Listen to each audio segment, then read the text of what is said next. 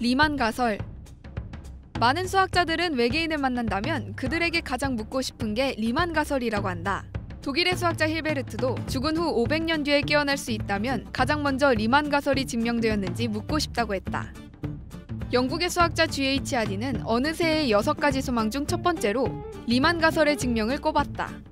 하디의 절친이었던 리틀우드는 리만 가설이 거짓이라고 믿어버려야 삶이 더 편해질 것 같다. 고 말했다. 영화 무한대를 본 남자의 실제 주인공 라마누잔은 리만 가설 때문에 심한 복통을 느꼈고 영화 뷰티풀 마인드의 실제 주인공 존 내쉬는 리만 가설을 연구하다 조현병에 걸렸다. 페르마의 마지막 정리는 1995년 앤드루 와일즈에 의해 풀렸고 일곱 가지 밀레니엄 문제 중 하나인 푸앵카레의 추측은 2003년 그레고리 페렐만이 해결했다. 하지만 리만 가설은 아직도 난공불락이다. 세계의 많은 수학자들이 지금도 이 문제에 매달리고 있다. 한국의 기하서 교수도 20년 넘게 오직 이 한 문제만을 풀고 있다. 도대체 리만 가설이 뭘까? 그래서 잠시 리만 가설의 역사 속으로 들어가 본다. 유클리드, 오일러, 가우스, 리만, 힐베르트, 하디, 라마누잔, 셀베르그. 역사상 가장 찬란했던 수학의 별들이 마치 릴레이를 하듯 소수의 문제에 매달려 왔다. 그 중에서도 소수의 분포에 대한 궁금증이 가장 컸다. 1792년 마침내 가우스가 소수의 개수를 추측할 수 있는 소수 정리를 제안했다. 소수 정리는 x보다 작은 소수의 개수 파이 x는 x가 상당히 커지면 로그 x분의 x에 가까워진다는 얘기다. 식으로 표현하면 이렇다. 가우스는 이렇게 추측했을 뿐 이를 증명할 순 없었다. 가우스의 제자였던 리만은 리만 제타 함수를 도입해 어떠한 가정을 하면 소수 정리를 증명할 수 있다는 것을 알았다. 1859년 리만이 발표한 논문에 거의 눈에 띄지도 않게 삽입된 이 가정에는 오늘날 덤으로 10억 원의 상금이 걸려 있는데 이게 바로 리만 가설이다. 먼저 이제 리만 가설에 대한 워낙 어려운 이야기니까 좀 쉬운 이야기로 이야기를 풀어가 보도록 하겠습니다. 리만 가설을 두 선생님은 어떤 기회에 만났는지 처음 리만 가설을 만났을 때 계기 이런 걸 갖다 들어보는 거가 어떨까 싶습니다. 김영 선생님 그 리만 가설을 어떤 계기 어떤 식으로 접하셨는지 좀 말씀해 주시기 바랍니다.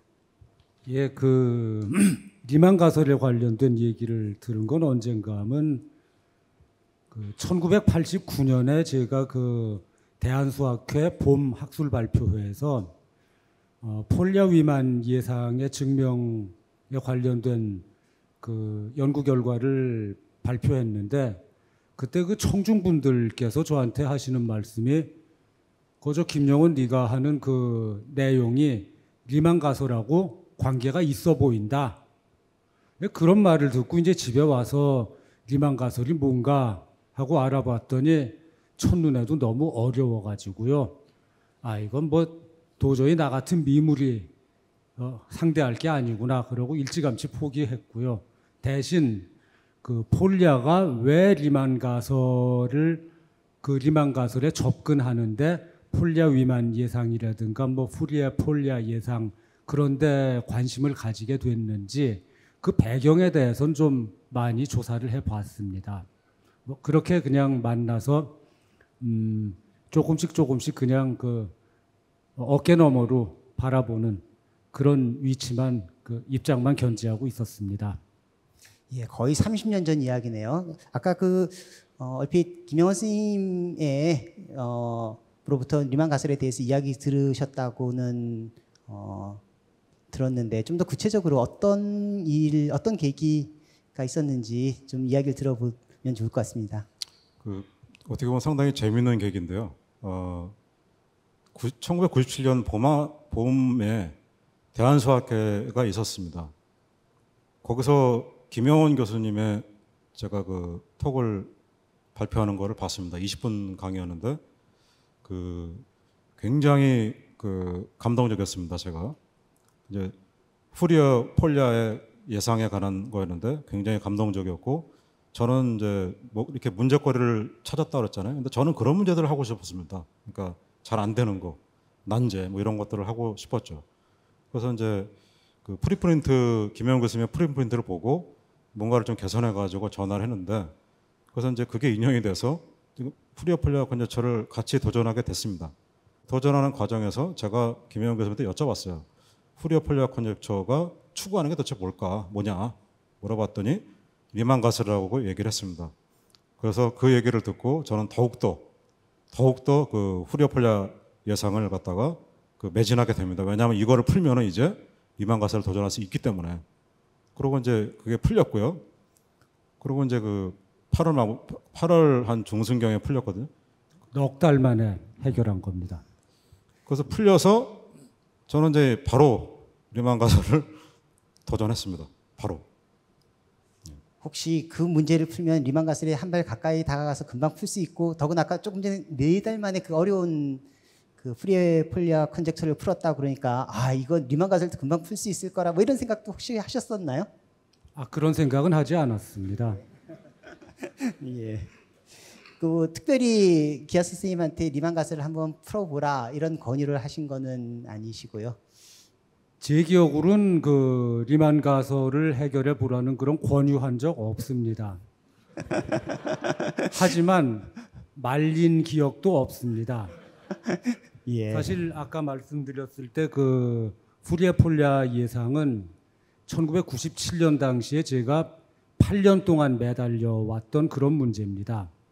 그걸 여기 기아서 선생님을 만나고 나서 넉 달 만에 둘이서 같이 해결한 거죠. 이제 그때 겪은 게 어 뭐 수학자한테 필요한 계산 능력이라든가 기억력이라든가 끈기라든가 이런 덕목 덕목들이 저하고는 비교도 안 되게 월등하다는 걸 알게 됐고 사실 그것 때문에 말리지 않았습니다. 그냥 하실 테면 하시라 하는 그런 태도였죠. 그 네 달 만에 문제 풀고는 야 내가 정말 어려운 문제를 한번 풀어봐야겠다 이런 생각하시고 신나게 시작하셨을 수도 있었을 것 같은데 물론 어려운 문제이긴 하지만 근데 20년 동안 하다 보면 아무리 좋은 문제라 하더라도 때로는 지칠 때도 있고 뭐 그러다 보면 아왜 이런 문제를 나한테 줘가지고 이런 원망의 생각은 김영원 선생님한테 없으셨었나요? 원망이라뇨? 어, 근데 그런 건 있습니다. 그 이렇게 오래 갈 줄은 상상을 못했고요. 저는 곧 될 줄 알았는데 어, 이렇게 오래 갈 줄은 상상을 못했고, 근데 이제 원망은커녕 뭐 매일 매일 그 아름다운 순간들이죠. 예, 전 그렇게 살았습니다. 그런 생각이 있었기에 20년을 갖다 한결같이 보내실 수 있었을 것 같습니다. 그 수학 연구 내용도 사실은 좀 어렵지만 그 수학이 도대체 어떻게 연구하는 건지 일반인들은 참 알기 어려워하는 것 같더라고요. 요즘은 이제 그 과학자들 이런 모습들을 갖다가 앞으로 뭐가 될 거냐를 갖다 그림으로 그려보라 그러면 초등학생들도 굉장히 이제 미래 직업군에 대해서 과학자들의 뭐 실험하는 모습이라든가 뭐 관측하고 연구하는 모습들에 대해서 어떤 이런 모습을 가지는데 수학하는 사람들은 도대체 어떻게 연구하는지 굉장히 궁금해합니다. 더구나 이게 금방 끝나는 게 아니라 20년 동안 선생님 같은 경우에 이제 한 문제를 갖다 잡고 있는데 어, 일반적인 수학의 방법을 포함해서 선생님 어떤 식으로 수학 그 연구를 하시는지 이 여기 있는 학생들도 여러 명 있는데 아 이렇게 수학하는 거구나 좀 알 수 있도록 설명해 주시면 예, 어, 그 김용원 교수님께서 저한테 이제 과찬의 말씀 많이 해주셨는데 어, 사실 처음에는 이렇게까지 시간이 걸릴 거라고는 생각을 못했습니다. 근데 이제 그 사실은 그 지금까지 이렇게 어떻게 증명했는지 제가 이제 다 그림이 있습니다. 그 처음에는 당연히 이제 폴리아의 방법을 추구했습니다. 몇 년을 추구한 끝에 어, 이거로는 좀 힘들겠다라는 생각을 해서 해설자 정서론을 공부하게 됩니다. 해설자 정서론은 제가 공부하자마자 느낀 게 뭐냐면 어, 이거는 저한테는 너무 이렇게 그 너무 자연스럽다는 걸 느꼈습니다. 그러니까 특별히 그 폴리아의 방법론을 공부할 때는 김영원 교수님의 어떤 그 뭐랄까요 가르침이랄까 이게 굉장히 중요했습니다 사실은 그런 거를 듣기가 되게 힘들거든요. 근데 김영원 교수님은 사실은 그런 거를 굉장히 잘 알고 있었어요. 근데 이제 이 해설적 정서론도 이제 그럴 거라고 생각했는데 전혀 아니었습니다. 그러니까 누구의 도움도 필요 없었고 쉽게 극복이 될 수 있었습니다. 근데 2004년도부터 어떤 생각을 했냐면 이제 세계에 있는 수학자들 한번 만나보자 그런 생각을 했고 그래서 만나게 된 게 모토하시, 어, 후지, 그다음에 요시다, 그다음에 어, 이비치, 유틸라, 콘리, 곤렉, 일드림, 뭐, 골드스톤 뭐 이런 사람들을 만났습니다. 라마크리시나 많이 만났습니다. 근데 이런 사람들이 그 사실은 그 자기가 직관적으로 경험한 리만 가설에 대해서 다 얘기를 해줬습니다 저한테. 근데 2005년도에 어떤 일이 있었냐면요. 2005년도에 이제 제가 박재석 교수님을 만나게 됩니다. 그 박재석 교수를 만나서 이제 거대한 그 수학에 대해서 제가 듣게 되죠. 그리고 이제 오랜 얘기 끝에 저의 상태를 갖다가 알았을 거 아니에요, 이제. 제가 이제 얘기하는 거 보고. 박재석 교수님 이런 얘기를 합니다. 기하서 교수님은 리만 가설을 한다고 하는데 어떻게 현대 수학도 모르면서 그렇게 도전을 하실 수 있, 습니까 라는 그런 그, 그 의문을 던집니다, 저한테. 그래서 현대 수학이 뭐냐면 이제 박재석 교수님이 생각하는 현대 수학이란 뭐냐면 대수기하를 대수기하를 바탕으로 이제 이론들이 굉장히 발달했습니다. 그게 뭐냐면 이제 예를 들면은 예를 들면은 랑란드 프로그램입니다. 그런 거를 하나도 모르고 리만 가설 도전한다는 거는 너무 어리석은 거 아니냐 그런 거였죠. 그게 이제 굉장히 큰 울림으로 다가왔고요. 그때부터 공부를 하게 됩니다. 근데 바로 랑란드 프로그램을 하지는 않았습니다. 근데 2008년도에 무슨 일이 있었냐면은 어떤 사람이 리만 가설을 증명했다고 그 인터넷에 띄웠습니다. 제가 그거를 받고 저는 반 정도뿐이 이해를 못했습니다. 반 정도뿐이. 근데 어 벌써 2008년이면 꽤 시간이 지났죠. 11년도 더 지난 상태잖아요. 그런데 제가 거기서부터 소, 소외가 된 거죠. 그래서 사실 굉장히 상심이 컸습니다. 그러고, 그러고는 바로 랑란드를 공부를 했습니다. 그리고 이제 2013년에 아까가 숄제 교수가 있잖아요. 숄제 교수가 그 랑란드 프로그램에 관한 논문들을 썼는데 그것들을 이해할 수 있었습니다. 그리고 랑란드 프로그램에 이제 그 논문들을 이제 최소한 해독을 할 수 있었던 거죠. 그리고 그 이후로는 어떤 그 지식의 갈증을 느끼지를 못했습니다. 그리고 그 이후로는 자유롭게 행복하게 그렇게 리만 가설을 도전하고 있습니다. 예. 어, 지금 이 말씀 들어보니까 굉장히 유명하신 수학자 뭐 10분, 20분 이상의 이름이 거명되어진 것만 해도 그런 것 같습니다. 그래서 그 많은 사람들이 수학하면은 그냥 앉아서 혼자서 하는 거라고 생각을 하는데 그게 아니라 이렇게 중요한 문제들을 생각하는 전 세계 수많은 사람들과 어떤 생각들을 하고 있는 건지 그 사람들의 생각들은 어떤 장점이 있고 어떤 단점이 있고 이런 것들을 차곡차곡 쌓아서 일단 여러 사람들과의 대화를 통해서 나의 상상력의 범위를 갖다 넓히는 거가 중요한 연구 방법인 것처럼 보여지네요. 그 선생님 생각하시기에 우리 전 세계적으로 흩어져 있는 수학자 중에서 본인이 이 리만 가설을 한다고 이렇게 딱 주장하지는 않지만 리만 가설이 혹시 내가 하는 거가 리만 가설을 해결하는데 큰 도움이 되지 않을까 이렇게 생각하는 사람들도 많이 있던가요? 그런 분들과 이야기 나눠보면 어, 그 예전에는 그 셀버거 시대에는 리만 가설을 도전한다는 말이 굉장히 금기어였습니다. 근데 이제 뭐 요새 그 여러 그 무브먼트들이 있지 않습니까? 뭐 최근에는 또 미투 그런 무브먼트도 있고요. 어, 그래서 이제 사람들이 어느 순간부터 이렇게 그 얘기하기도 합니다. 나는 이만 것을 한다. 그런 얘기하기도 하고 그럽니다. 근데 현재까지도 사실은 그 좀 약간 이렇게 밝히지는 잘 않습니다. 밝히지는 않는데 근데 이제 리만 가설을 했다는 그런 도전했다는 그런 어떤 심증은 드는데 그게 이제 대표적인 사람이 이제 저는 셀버라고 음흠. 생각하는 거죠. 예. 그러니까 여러 사람들의 이제 인터랙션도 하고 관심 있는 사람들과 논의도 하고 그렇지만 아무래도 수학은 혼자서 집중해서 생각하고 또 고민하고 또 어려운 점을 갖다 해결하고 이런 어려운 과정일 것 같은데 21년 동안 한 번도 다른 한눈 안 팔고 이 문제에 대해서 끈기 있게 밀고 나가신 힘, 원동력은 어떤 게 그렇게 만들어 주었 건가요? 저는 이제 개인적으로 약간 그 우스갯소리인데 이제 리만 가설을 할 수 있는 사람이 이제 뭐 두 종의 수학자가 있다고 저는 항상 그 생각을 했습니다. 뭐 한종은 뭐 얘기를 안 해도 잘 아실 겁니다. 예.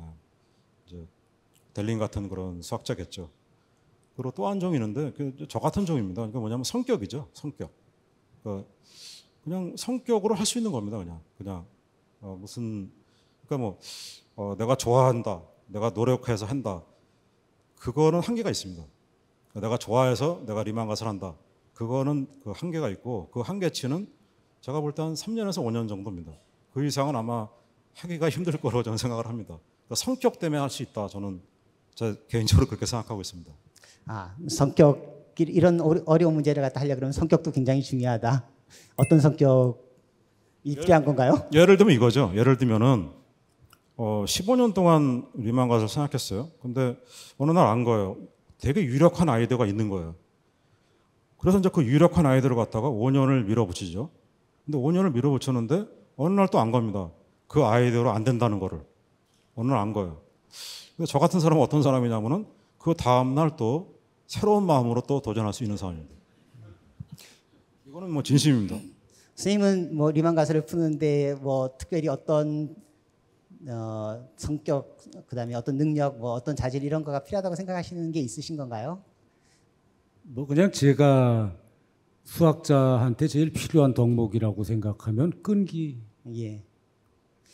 이제까지는 뭐 김영원 선생님 30년 전에 처음으로 어, 리만 가설과 관련되어진 연구를 시작하셔서 기아 선생님 20년 동안 해온 이야기들을 들었습니다. 두 어, 패널께서 20년 동안 어떻게 리만 가설을 만났는지 이야기를 들어봤는데요. 시계를 좀 되돌려서 어, 1859년으로 한번 가보겠습니다. 한 160년 전인가요, 벌써? 예, 그때 슬라이드에서도 강연에서도 나왔었지만 그 리만이 그 리만 가설을 갖다가 어, 처음 생각하게 된 거는 가우스가 이야기한 소수 정리를 갖다가 보다 구체적으로 그 구체화시키기 위해서 생각했다고 합니다. 거기에 대한 이야기를 갖다가 좀 들어보는 것도 의미 있을 것 같습니다. 시계를 160년 전으로 돌려서 김 선생님 그 맨 처음에 리만 가서 리만이 왜 이런 문제들을 생각했는지 좀 설명을 해주신다면은 예. 그 제가 지금 기억이 안 나지만 가우스가 태어난 연도는 제가 기억을 합니다. 1777년에 태어나신 분인데 어, 그 소수 정리는 가우스가 예상한 겁니다. 그 가우스가 언제 예상을 했는가 하면 1792년 무렵에 예상했다고 합니다. 그럼 가우스가 몇 살 때일까요? 92 빼기 77 하면 15살 정도 될 때 그 소수 정리를 예상했습니다. 어, 소수 정리 내용은 이렇습니다. 어, 파이 x라고 있습니다. 아까 기하서 선생님 강연 중에 나왔는데 그러니까 x가 주어졌을 때 그 x를 넘지 않는 소수의 개수를 파이 x라 그럽니다. 그것을 분자에 두고 그 다음 분모에는 뭐 2에서 x까지 로그 t분의 1이라는 함수를 적분한 거 그걸 분모에 두고선 x를 무한대로 보내면 그 극한이 1이 될 것이다 하는 게 소수 정리입니다. 자 그런데 그 소수 정리를 내가 증명하고자 한다면 분모는 0에서 아니면 2에서 x까지 어떤 함수의 적분이 되고 그건 수학적으로 분명한 의미가 있습니다.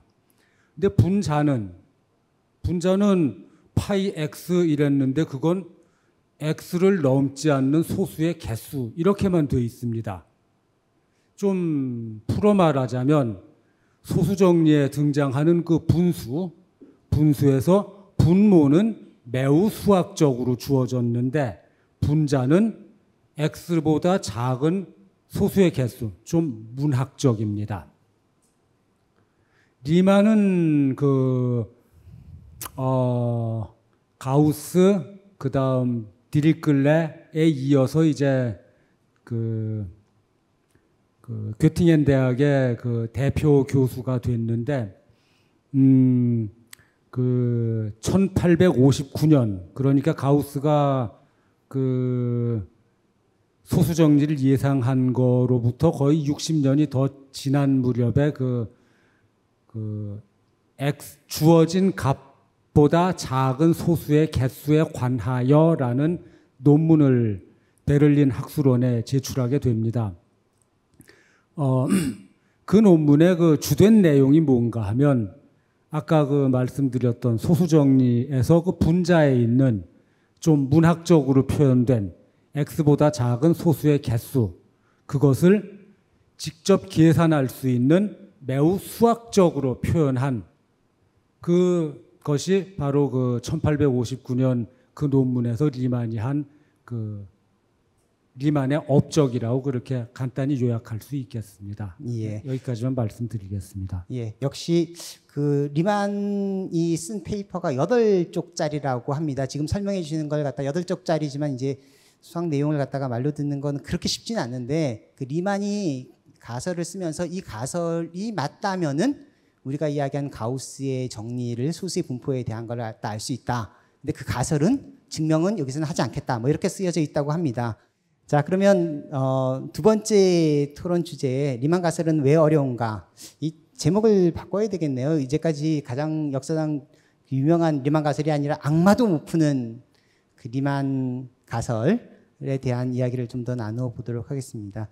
일단 아까 우리 강연에서 들었던 걸 갖다가 좀 되짚어 보는 느낌으로 어 여러 가지 이야기들을 하셨는데 지금 한마디로 좀 정리를 해가지고 이 리만 가설이 이렇게 어려운 이유 혹은 왜 이렇게 중요하고 유명한지에 대해서 한번 다시 말씀해 주시면 좋을 것 같습니다. 예, 아까도 제가 말씀드렸듯이 리만 가설은 두 가지 속성이 있다 그랬죠.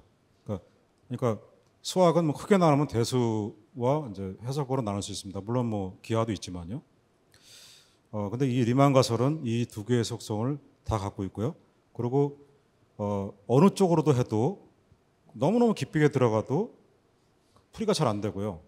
이- 그리고 이- 두 개를 다 알아서 또 굉장히 깊게 들어가도 또 풀이를 장담할 수가 없습니다. 그거는 이제 그 역사적으로도 증명이 되고 있고요. 근데 또 제타 함수들이 또 할아버지 제타 함수 이외에도 굉장히 많은 제타 함수들이 있습니다. 근데 그것들이 전부 다, 다 고유의 어떤 수론적인 정보를 갖고 있고 그것들이 전부 다다또 리만 가설이 있습니다. 근데 아무것도 해결이 된 게 없습니다. 네, 그렇기 때문에 리만 가설은 또 유명하기도 하고 또 매우 어려운 어, 난제라고 생각합니다. 예, 그러니까 굉장히 여러 분야에서 접근해야지 되고 그 다음에 그 접근의 깊이도 굉장히 깊어서 어려운 문제이다. 아, 그러니까 아까 뭐 수학의 분야들도 굉장히 여러 개를 갖다 보여주셨는데 선생님은 어떻게 생각하시나요? 이 리만 가설이 이렇게 어려운 이유가 그 서울에 가보지 않은 분이 서울 설명을 더 잘하신다고. 예, 그 저는 그냥 그 이제 이 강연을 준비하면서 기하서 선생님하고 이런저런 얘기를 나누다가 아, 그 아마 제 머리에 떠오른 그 어떤 영상이 하나 있었습니다. 이건데요.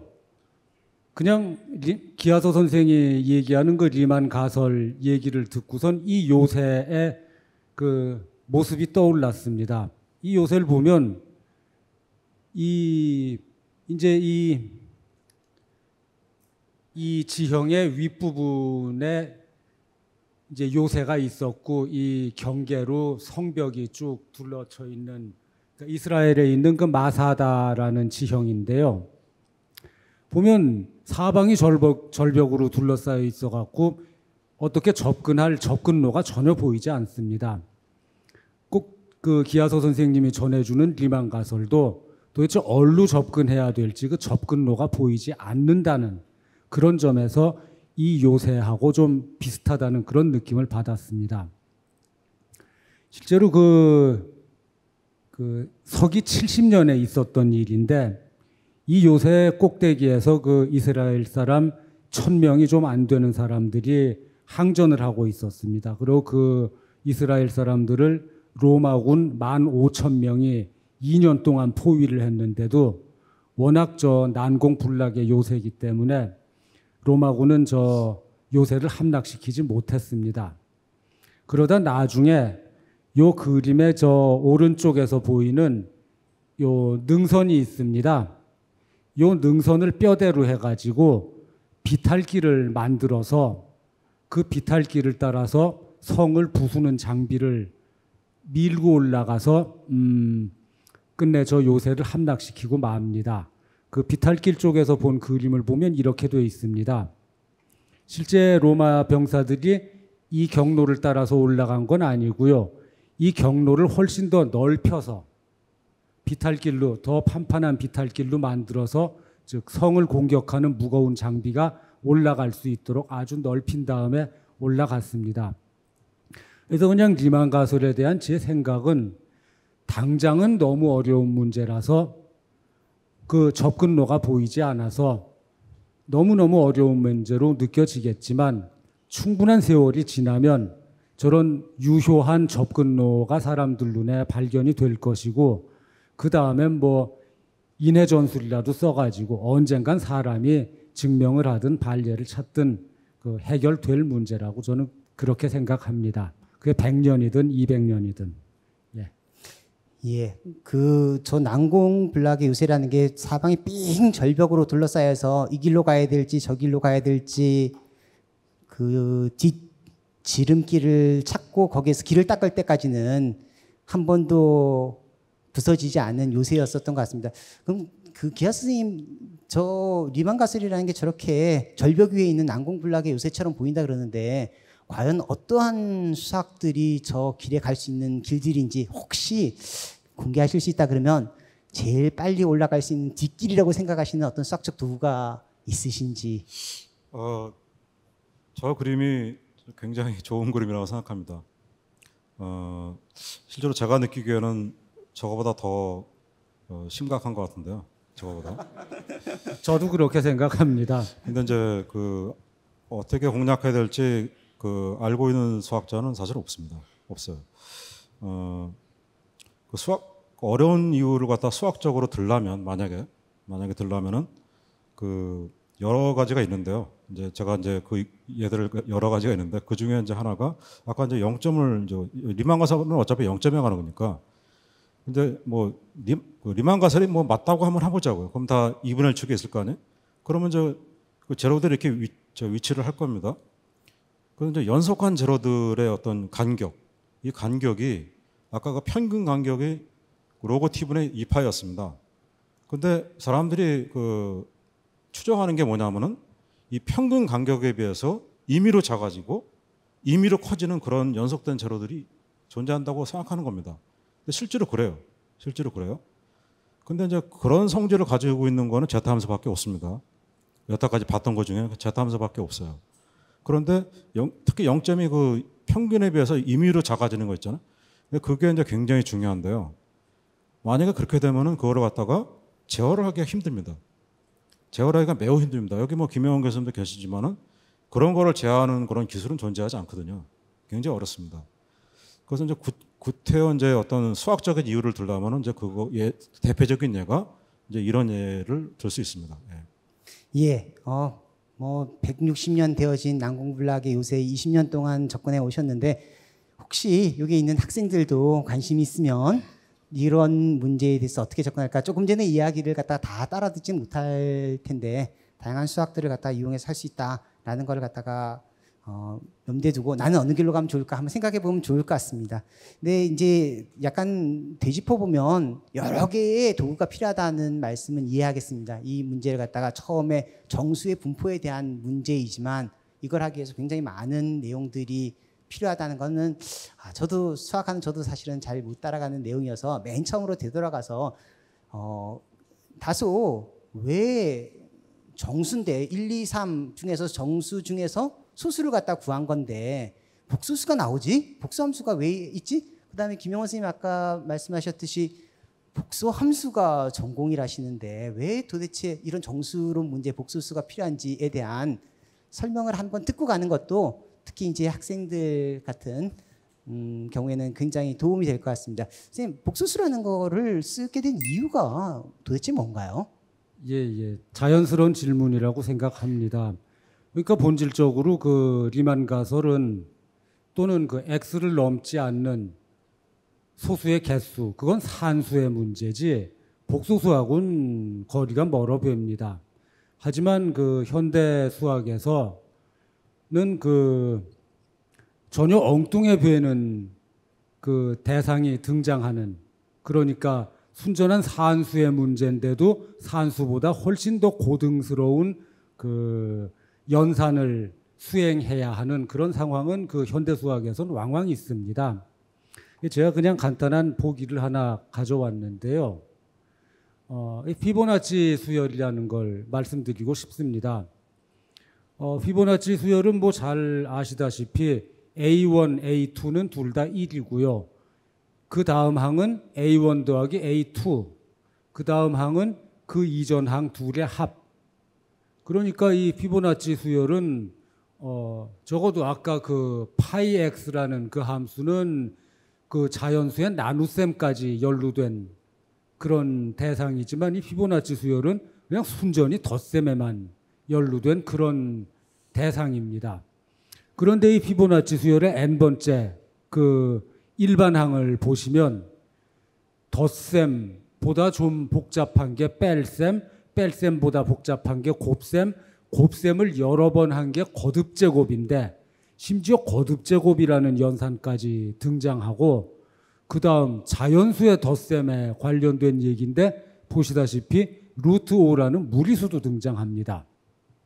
그래서 뭐 제가 드리고 싶은 말씀은 자연수의 현상을 기술하기 위해서 무리수까지도 실수까지도 가는 걸 불사할 수 있고 또 그런 일은 그 현대 수학에선 도처에 흔히 일어나는 일이라는 정도로 그냥 말씀드릴까 합니다.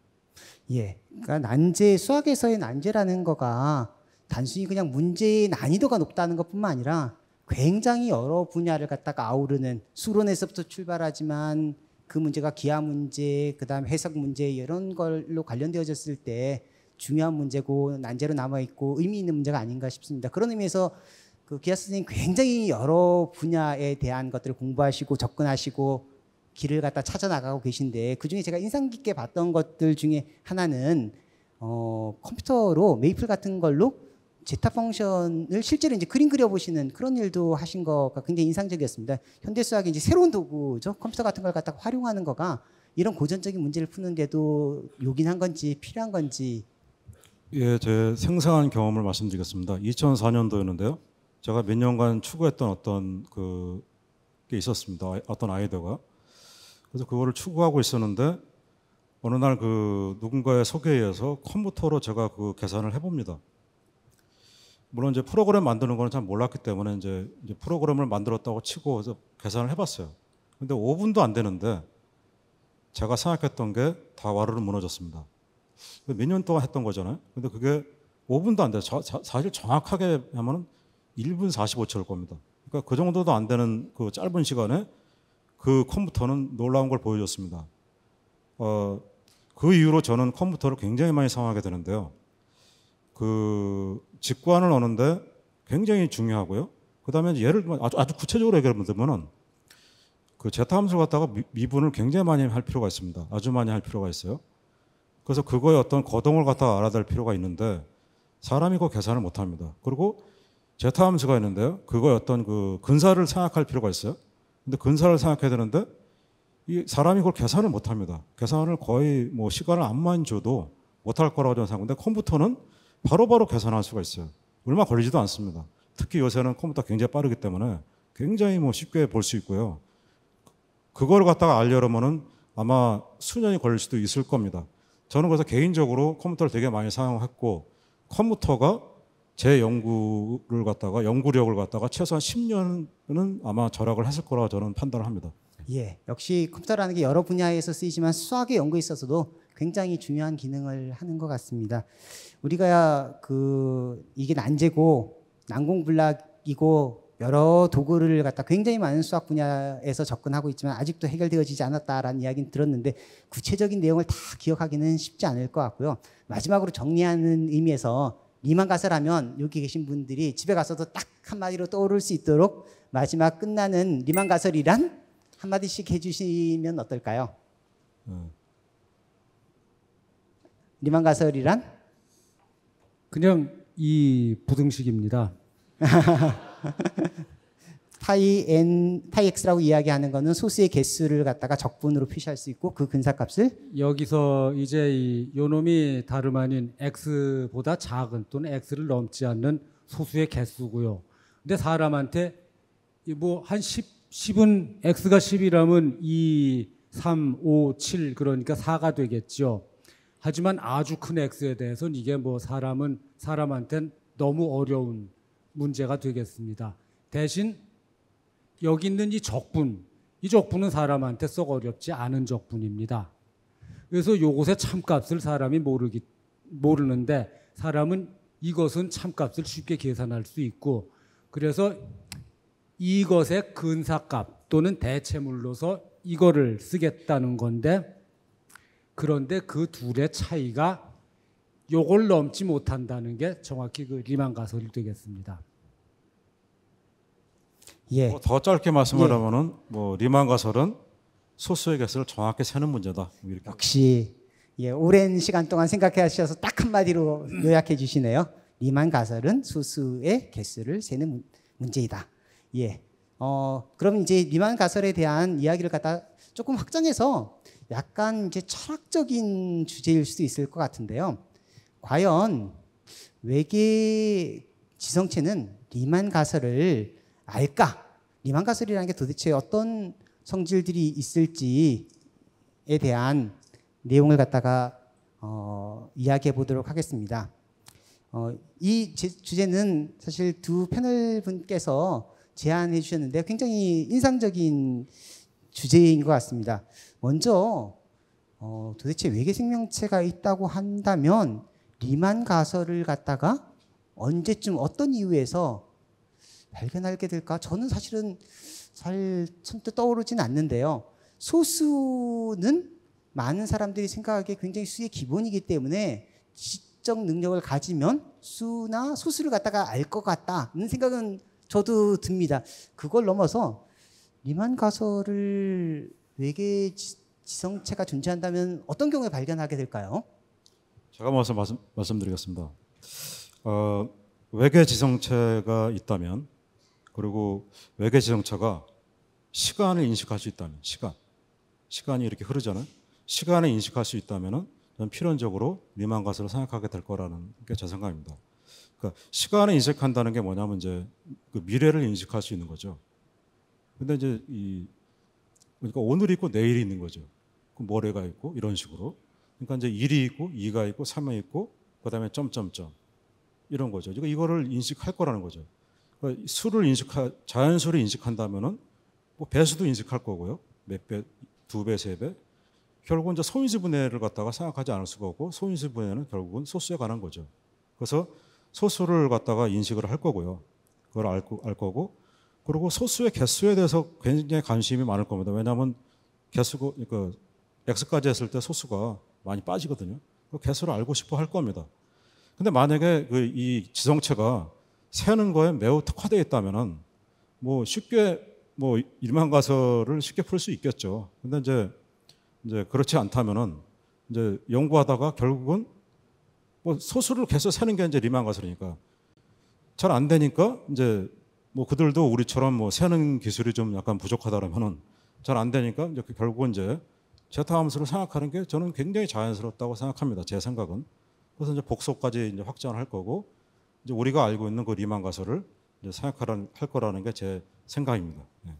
예, 그러니까 가우스가 생각했듯이 수수라는 거가 자연스러운 대상이고 그거가 하나 둘 세다 보면은 어떻게 되어질까 궁금 무한이 나갔을 때 어떻게 됐을까 궁금할 거고 그렇다면 리만이 제안했던 리만 가설과 같은 것들을 아마 유도할 것 같다 뭐 이런 말씀이시죠.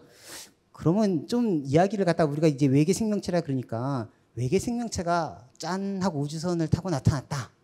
그러면 리만 가설을 안다? 그러면 어느 정도 저쪽에 지적 능력이 되는지 지피지기면 백전백승이라고 상대 수준을 알아야 될 테니까 선생님 그 리만 가설을 알면은 인간보다 똑똑한 건가요? 혹은 리만 가설을 풀었다 나 풀었어 이렇게 오면은 인간보다도 월등히 우수한 지적 생명체라고 볼 수 있을까요? 예. 거기에 대한 제 말씀을 좀 드리겠습니다. 어, 뭐 외계 생명체 여태 우리가 본 적도 없고요. 그 뭐 그 중에 뭐 리만 가설을 생각하는 것이 있는지 없는지 잘 모르겠지만 분명한 건 우리 사람들은 그걸 중요한 문제라고 생각한다는 겁니다. 그렇다면 전 이런 생각을 해봤습니다. 그 외계 지성체가 있는데 인간하고 어떤 성질을 공유해야 그 지성체들도 리만 가설을 중요하다고 생각할까? 그래서 이제 뭐 정답은 없을 겁니다. 하지만 제가 생각하는 답은 우리는 사실 지금 내가 날 생각해도 내가 죽을 거라는 거잘 실감이 안 납니다. 하지만 제 나이가 지금 예순 둘이니까 적어도 40년 안에는 죽지 않겠는가 그 정도 예상은 하면서 삽니다. 뭐 이 중에 젊으신 분들은 정말 더 내가 죽을 거라는 느낌이 안 들 겁니다. 하지만 내가 150살까지는 아무래도 살 것 같지 않고 그러니까 자기가 언제쯤 최소한 언제를 넘기지 못할 거라는 그 정도는 누구나 다 알고서 살고 있습니다.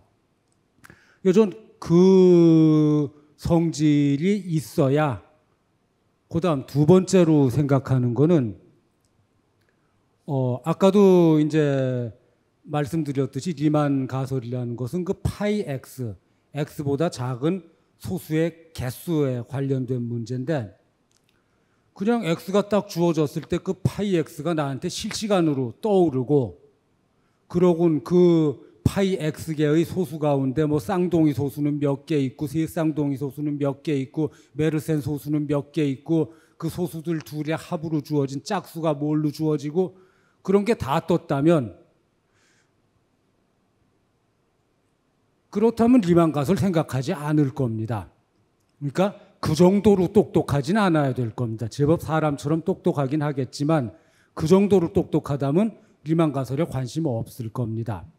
그래서 그 두 두 가지 조건을 만족시키고 사람 정도 똑똑하다면 음, 리만 가설을 생각하지 않을까 좀 그렇게 생각합니다. 그래서 이제 좀 비유를 들기 위해서 그러니까 외계인이 군대하고 무기를 몰고 이 지구에 왔어요. 그러면서 우리는 저 지구를 식민 행성으로 삼기 위해서 왔다. 우리에게 협조해라. 그랬다고 하죠. 그럼 제가 만약 그 지구 대표라면 우주인한테 물어볼 겁니다. 리만 가설을 아는가? 그때 그 우주인이 어, 그거 중요한 문제다. 우린 2000년 전에 풀었고, 그 우린 저 고등학교 때 그거 증명 배운다. 그랬다면 저는 이렇게 대답할 겁니다. 너희들한테 협조 못한다. 딴 행성 알아봐라. 만약 여기서 작업 버리면 우린 결사항전할 거다. 나중에 후회하지 말고 미리 딴 데로 떠나라. 제가 왜 그렇게 대답을 할 수 있는가 하면 우리보다 뭐 2000년이건 뭐건 전에 리만 가설을 해결했든 말든 거기 관심이 있었다는 것은 그들의 능력이 우리와 뛰어나 우리보다 뛰어날지라도 하여튼 우리와 비교 가능한 범위 내에 있다는 건데 만약 그 외계인한테 리만 가설을 아느냐고 물었을 때 그 악마처럼 무슨 얘기하는지 좀 자세히 설명해라. 그래서 뭐 그 리만 제타 함수의 모든 비자명해의 실수부가 2분의 1이다 라는 거다. 그렇게 설명을 해주는데 외계인이 어, 무슨 얘기인지는 알겠는데 우린 관심 없다. 라는 반응이 나왔다면 저라면 당장 이렇게 얘기하겠습니다. 우선 지구에 온 거 환영한다. 100% 협조하겠다. 식민 행성 개발에 필요한 모든 장비와 노동력을 제공하겠다. 대신 우리 멸종만 시키지 말아 달라. 뭐 그렇 그게 제 의견입니다.